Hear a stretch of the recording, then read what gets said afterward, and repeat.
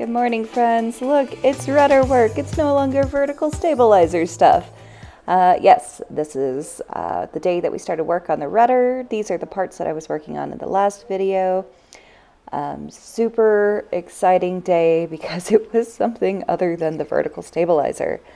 Um, it is also the day that I fell in love with the DRDD DT2. Um, yes, dimpling is now my favorite thing. Um, but this day, this was a long day. This was before we went on vacation.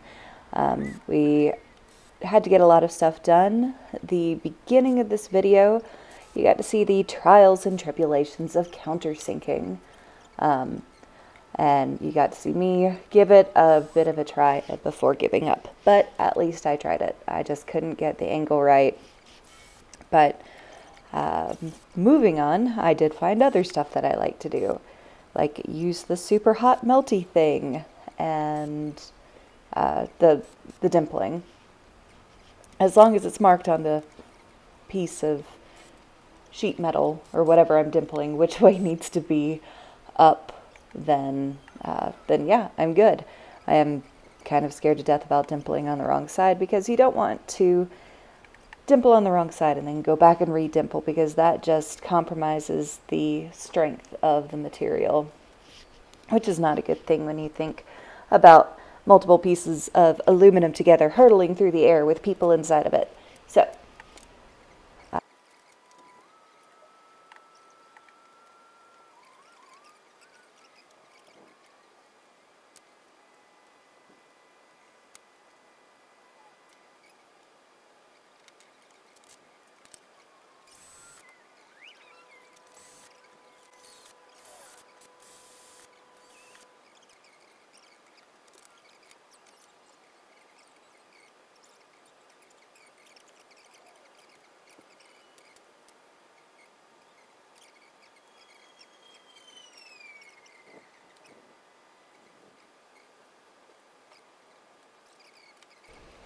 I know that watching this, it seems like there's a lot of repeating of putting Clecos in and taking Clecos out and putting Clecos back in and taking Clecos back out.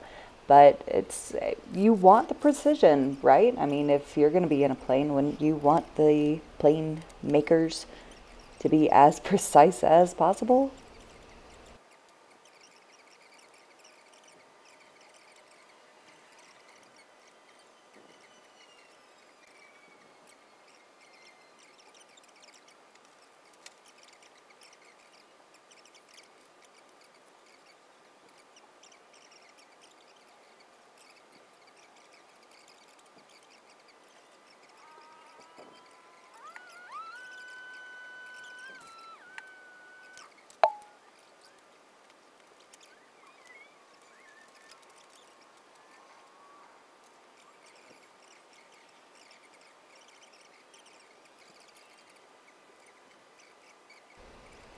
So along the edges of these skins are holes and in order to um, have better access to dimple and then rivet the holes, we had to remove strips of the blue covering uh, to have a clear work surface.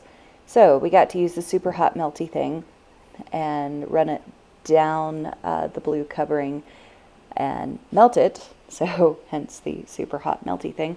Uh, so we could then peel off uh, the covering. And so when you're peeling off this covering, I don't know if I've said it in a video yet, but it's kind of like peeling off um, sunburned skin or like when you're a kid and you put Elmer's glue all over your hands and peel that off. It's that kind of satisfying. I know, I really am a five-year-old at heart um, who builds airplanes, but I guess five year olds do that. All five year olds dream of building planes, right? Yeah. Um, I didn't know that I wanted to build a plane, but apparently I did. I actually really missed the process when we were in New Mexico. And I'm not sure if it had to do with just the routine of it or what, but I, I actually, I did miss it. Um, so yep, Robert's cutting the first piece, the, uh, the plastic bits off of that And then he started the second piece for me, and I took over that one.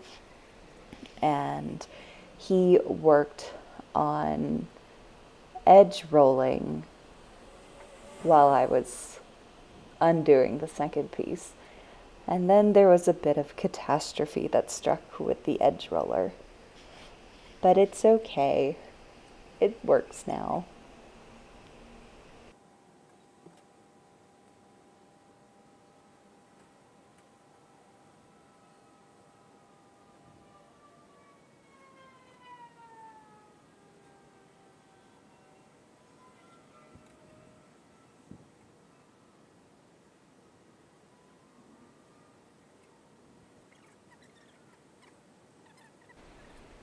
So yeah, when you see me occasionally stop to take photos, it's because the scene looks really nice, like this one, all shiny.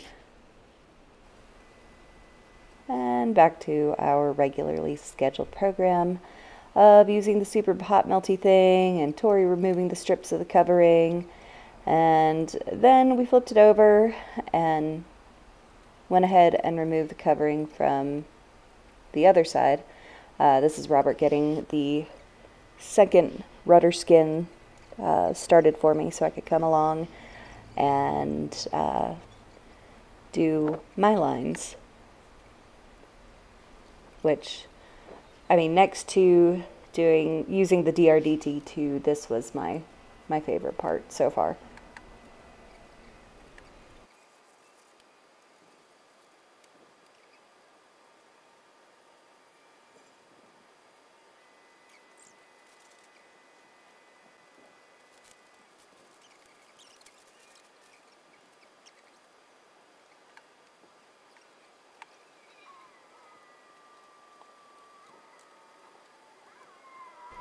So the edge roller is used in order to give a better, uh, a more flowing seam or overlap when two pieces are put together. Um, it just kind of brings it down a little bit so you don't have a sudden um,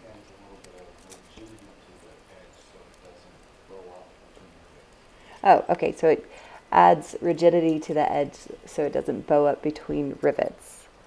Um, that's what Robert just explained to me off camera. But like I said, there was a bit of a malfunction with the edge roller. Um, but again, it was okay. Robert fixed it. And he got to make sparks when he was using the grinder. And he also did some welding, but I did not include that in the video because while I was putting this together, I couldn't find my shots of it.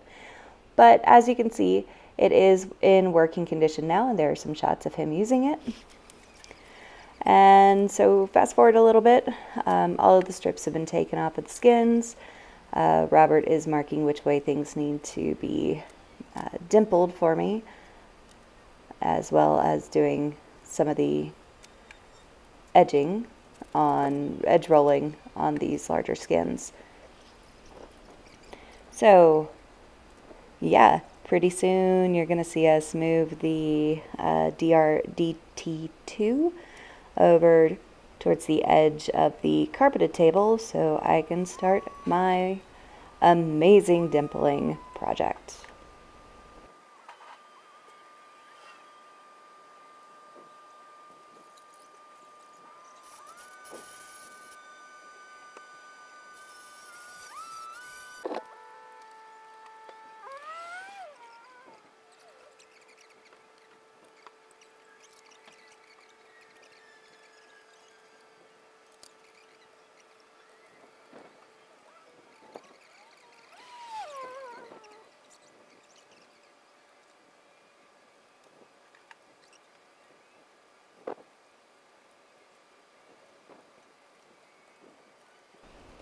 So yep, all of those small pieces on the table behind me that I deburred and uh, worked on yesterday had to be dimpled. Uh, luckily it was just on one side though, so I didn't have to uh, worry about trying to make sure both sides of those angles were correctly dimpled. But it was a process and going on and on. And this table is actually like the perfect height uh, for me to do dimpling. And it's it's a good thing that Robert and I are actually close to the same height, so we didn't have to worry about um, like if it was going to be a huge uh, difference between the two of us doing this, where it might be uncomfortable for someone. Um, but yep, so continuing on, and it it took a while. It eventually, uh, you see, it's it's bright and sunny now, and by the time that we finished, it was again like 9:30 at night before we left the shop.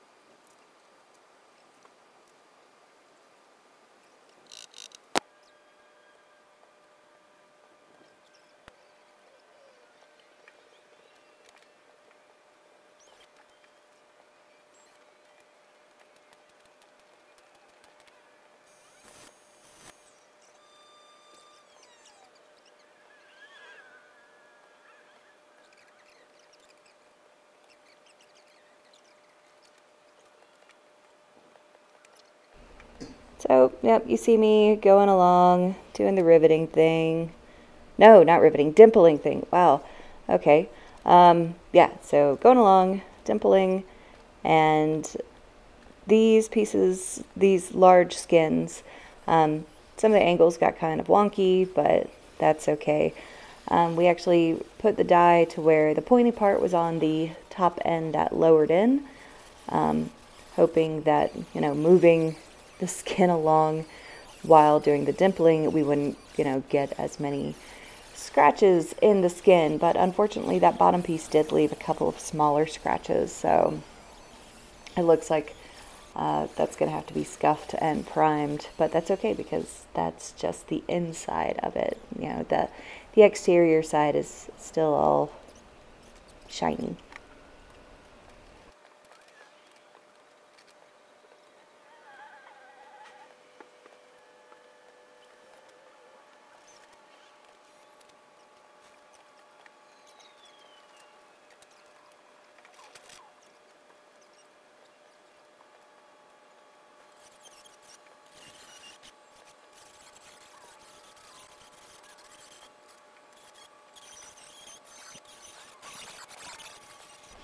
So while I was doing this, you can see Robert diligently working on something on the table behind me, and he was working on the rudder access panel for the trim servo uh, that goes inside of the rudder.